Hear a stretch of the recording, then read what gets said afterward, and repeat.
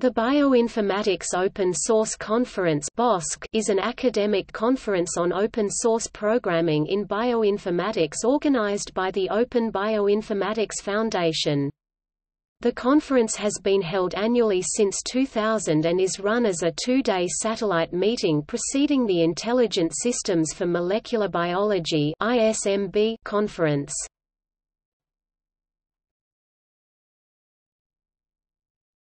Topic Program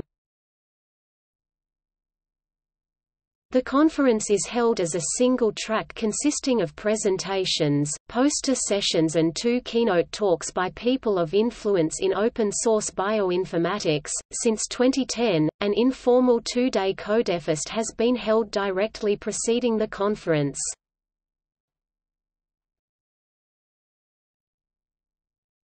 Topic: History NIH Associate Director for Data Science Philip Bourne and C. Titus Brown gave keynote talks at BOSC 2014.